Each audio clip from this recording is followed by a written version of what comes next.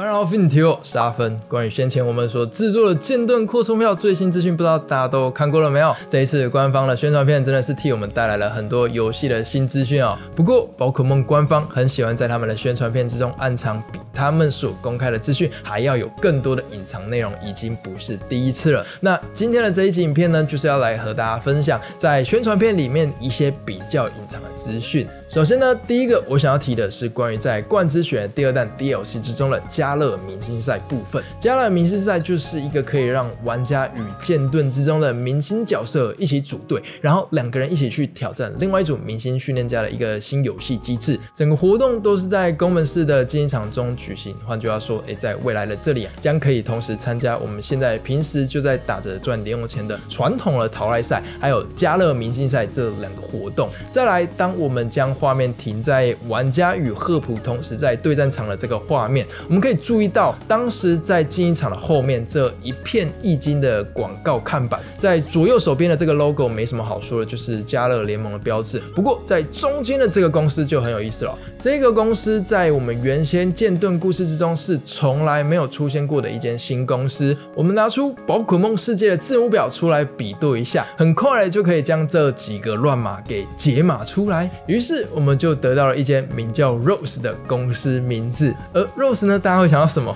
那不就刚刚好是我们前加勒地区宝可梦联盟会长兼前马洛科蒙集团之总裁的名字吗？但是若大家都有将我们剑盾的主故事从头破到尾，应该都会知道，洛兹会长因为我们的无极泰纳事件，把加勒地区搞得一团糟，最后被我们玩家打败以后，就放弃了自己所有的职务，便自首去了。所以说，看到了这个 Rose 的公司出。现在这里，我们可以推断的是，在主故事之后的洛兹会长啊，他应该是得到了我们加勒尔地区人民大众的原谅和谅解，而被提前假释出来，所以说现在才有这个机会可以继续的服务大众啦。那么左手边的这个商标 logo 有别于先前马洛科蒙集团以 C 字形符号作为标志，现在的这个六角形啊，我觉得很像是齿轮一样。那大家应该都还记得，我们洛兹会长他本人最擅长的宝可梦。属性就是钢属性嘛，而恰恰好我们的宝可梦世界之中就有一只宝可梦，它同时是钢属性，又长得像是齿轮的形状，也就是我们幻之宝可梦美露檀嘛。我觉得本次的扩充票 DLC 之中，很有可能洛兹先生将会得到一只新的美露坦作为他的伙伴。而且稍微比较宅一点的剑斗玩家，其实大家都知道，官方老早就已经设计好了美露美坦这只宝可梦的超级巨化形态。但是对于官方来说，一只幻之宝可梦的超级巨化形态，无论如何都一定是要替他安排一个特别的出场桥段的，就像是在第六世代欧米伽红宝石和阿尔法蓝宝石之中的 Delta Episode。篇章里头的裂空术进行 mega 进化，也算是在游戏中的一个很重要的剧情之一嘛。而我个人的部分，其实也是很相信美露美塔的超级巨化形态会跟着本次扩充票的剧情有一个轰轰烈烈的登场的。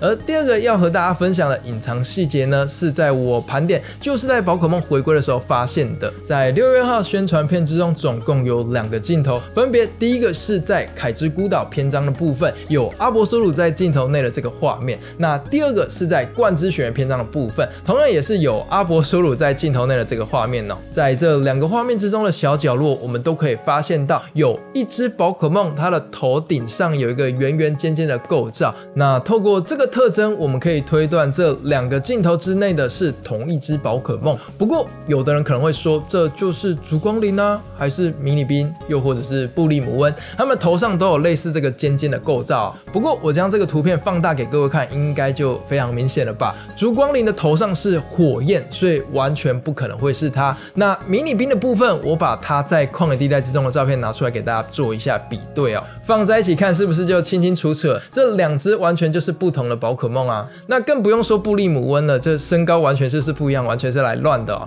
所以说，我们可以很肯定的，这一只宝可梦就是在我们本次扩充票才推出了全新宝可梦。不过很可惜的部分是，目前关于它最清楚。楚的画面就是这一张了，可能对于它的全貌会比较难想象一点。不过我们大致上可以知道的是，至少它是一只会出现在早上的草丛里面，还有灰暗的下雪天气当中的。那属性的部分，从它外观上的颜色来判断，可能会是冰属性的宝可梦。那第三个隐藏细节呢，我想和大家分享的是关于皮欧尼先生。首先，我们把宣传片一开始这个他很热情出场的镜头拿出来看哦，这个镜头应该是至今为止官方所示出关于他的样貌之中最清楚的一次，就连他帽子上的这个图案也是一清二楚，一只红色的类似雷龙的图案。那大家玩宝可梦游戏都已经这么多年了，基本上只要出现在游戏之中的任何动物图片，九成九都一定是会出场的宝可梦啊。那剩下的一层就是像是我们初太之中的道馆前雕像啊，又或者是替身玩偶，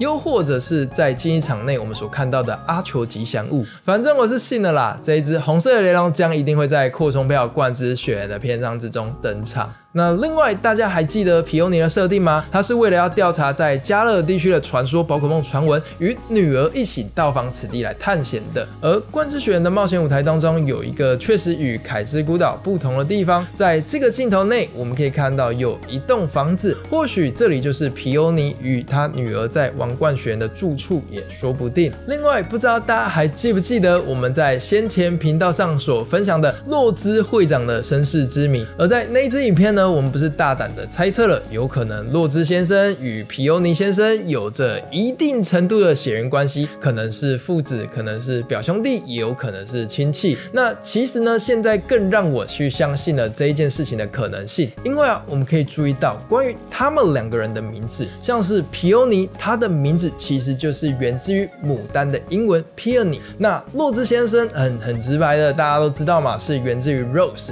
玫瑰花，而牡丹和玫瑰都刚刚好是植物的名字，这是不是有那么一点点巧啊？反正我个人是蛮期待他们两个是有亲戚关系的，我们就到时候再一起看结果如何吧。下一个我想要和大家分享的细节呢，是关于极具大冒险。在上一集影片之中，我不是有提到，我猜想应该有可能像是旷野地带之中的集团战一样，若是我们不足四位训练家，将可以让 NPC 来充数。那这个部分的答案，我目前其实是变得更加肯定的。原因是在官方的宣传片当中，我们将这个画面放大，其实可以隐隐约约的看得到和玩家一起参与这个团体战的人呐，站在我们旁边的，哎，这些不就是商务人士、短裤小子、迷你群学生、宝可梦培育家、舞者、空手道玩、背包客跟音乐家吗？没有错。尽管官方在扩充票 DLC 之中承诺了我们在换装系统之中，我们将可以得到更自由的变装，但是从身高就可以来判断，这些短裤小子、皮卡丘伊布。套装的宝可梦小朋友，这完全就不会是我们玩家的身高啊！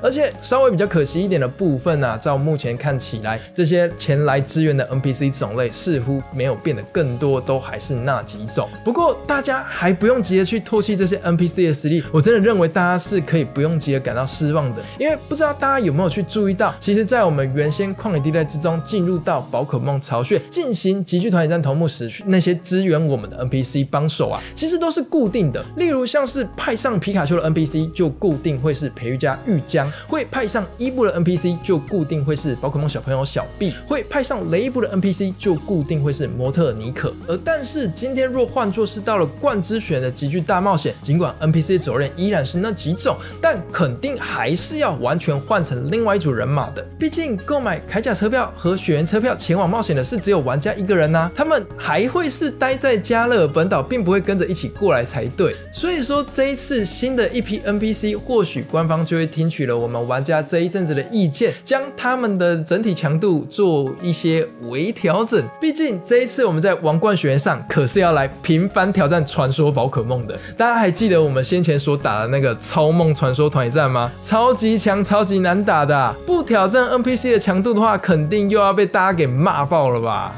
在下一个我想要和大家分享的隐藏细节呢，是关于冠之雪原上的永恒的传说宝可梦。在六月二号的宣传片之中，我们可以看到，就在王冠学园的冒险区域上，我们可以找得到这些永恒的传说宝可梦的神殿。那这几位神柱的神殿呢，我们从外观上的颜色就可以来推断是哪一位柱神住在里面。仔细看的话，神殿上的招牌上也画上了他们每一位柱神脸上的圆点排列图案，就像是雷吉艾斯就是十字，雷吉洛克就是画上了一个 H。那另外呢，我们也可以注意到，在神殿大门上有一个小小的人偶图案。那在这个小人的脸上啊，也就是他们彼此的脸上圆点排列，这一点都没有问题。但是我们可以注意到的是，在这个小人的身体躯干上还画上的六个圆点。那在这个部分呢，我们可以大胆的去做猜测，其实他们都是为了要和圣柱王雷吉奇卡斯去做一个连接。毕竟将他们他们几位所创作出来的，就正是雷吉奇卡斯本人嘛。那雷吉奇卡斯的胸前这边就有六个圆点，而这六个圆点其实也是别有用意的哦。从上到下，我们可以两个两个一组来看，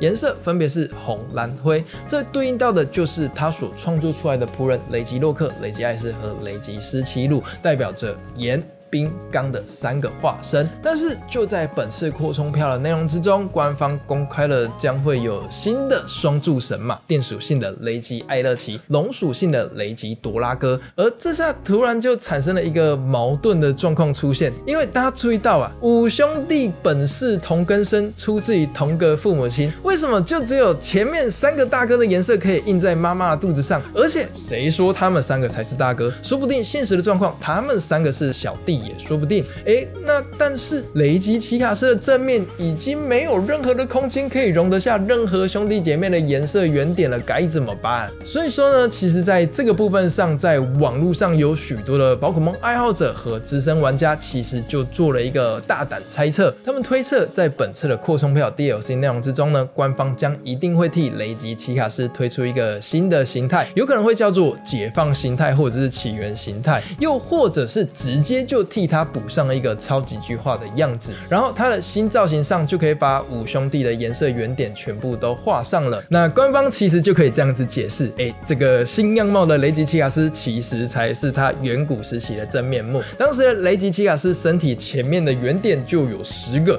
代表岩冰钢电龙的红蓝灰黄红颜色全部都有。那我个人其实是觉得游戏故事往这个方向发展，其实也是挺有可能的。毕竟突然冒出了双柱神新设定，总要给玩家一些交代嘛。那我在网络上呢，也有找到一张宝可梦爱好者所创作出的雷吉奇卡斯的超级巨化预想样貌。这个创作也就是根据网友们所猜测，画上了十个原点的版本。哎，看起来好像也蛮合理的，而且也蛮帅的哈。那大家就可以来参考一下。那么关于本次剑盾扩充票宣传片中的隐藏细节分享，就到这边告一段落。谢谢大家不嫌弃一直看到影片的最。后，如果你还喜欢我们这种资讯分析的影片，也帮我们按下个喜欢钮，给我们个鼓励，分享订阅这张小铃铛，就不会错过我们将来最新影片了。我们下一集再见，拜拜。